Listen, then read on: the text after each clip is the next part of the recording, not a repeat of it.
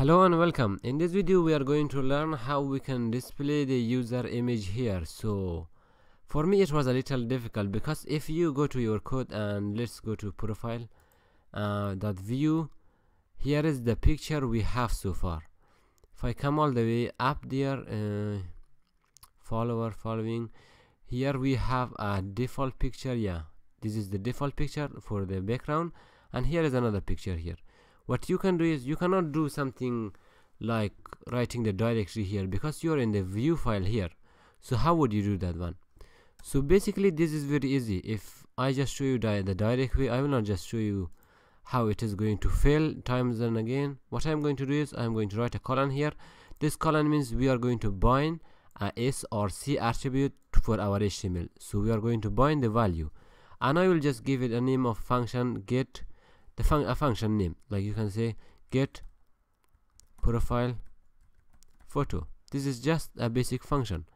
And I can create this function now. This function is going to take the user photo. What is good about functioning is like you can pass the directory name the, uh, when you are writing it in the methods here. This is a lot easy. So you write it here and then what you can do is this function is going to return this value. What you can do is you can write the directory name here and then plus you can say just combine it with this dot photo that you have here. This is basically like that. So let's see how we can write the directory name.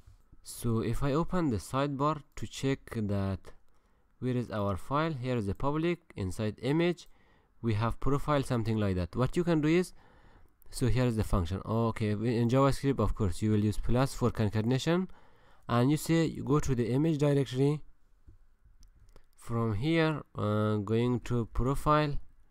And then here you know all our images are inside the profile. So this is it for this one. If i save it this time let's see if it display the image. If i check out that it should compile down all our file. Yeah it didn't save it. So if i save it it is compiling. And let's come to our application. I refresh the page. It should display the image properly now. Oh yeah it didn't show. So if I just check out what is wrong I select this one. You come here you say go to profile and it is undefined. What is undefined?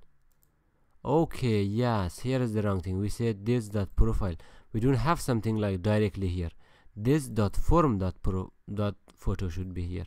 So this dot form dot photo. If i save it this time and let's wait for the compile yes refresh the page. This time it should display the user instead of undefined.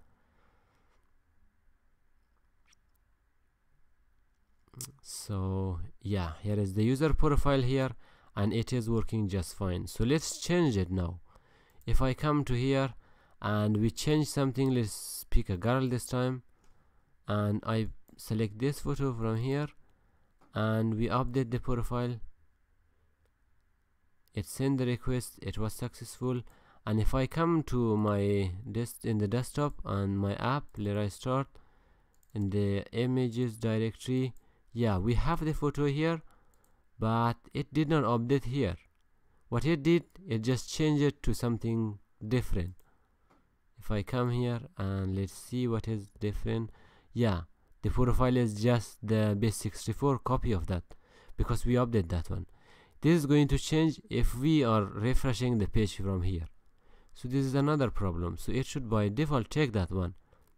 So that is another common problem that you might face. So I can fix that for you but I would like you to do that one. This is very basic like if a user pick an image here so it should display the image directly here. How it is going to be done?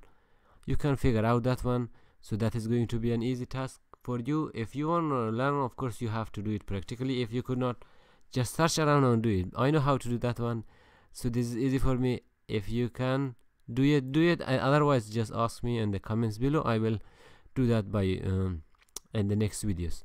So i hope it has been informative for you. If you have any question feel free to ask below the video.